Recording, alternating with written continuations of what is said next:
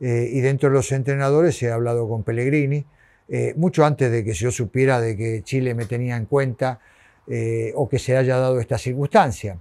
y bueno, una de las cosas que, que, Pellegrini me dijo, me dijo que el, chileno no se cree menos que nadie, o sea, ¿viste? Y eso es algo muy bueno, me parece, ¿viste? O sea, que